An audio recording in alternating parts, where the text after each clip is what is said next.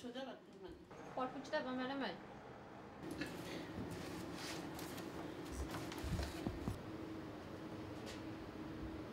თვითონ სამინისტროდან გამოსულა.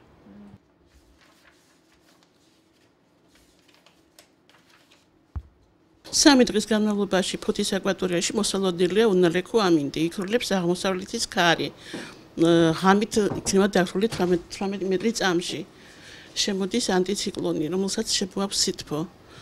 შავი ზღვის აკვატორიაში ტემპერატურა თანდათან გაიზრდება. იქნება 18 გრადუსი, დაფიქსირდება ხვალ, ზეგ 19 გრადუსამდე გაიზრდება.